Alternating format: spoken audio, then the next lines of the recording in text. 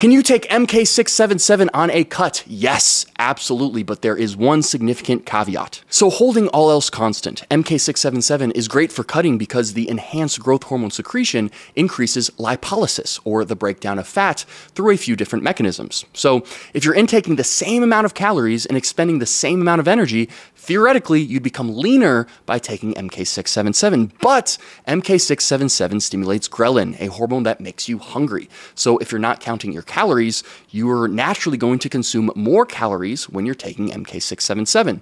So if you're cutting on MK677, you need to count calories and ensure they're low enough and or take an appetite suppressing supplement along with it. I would recommend something like Enhanced Labs Alpha Yohimbine to counterbalance the increased hunger from NextChem's MK677.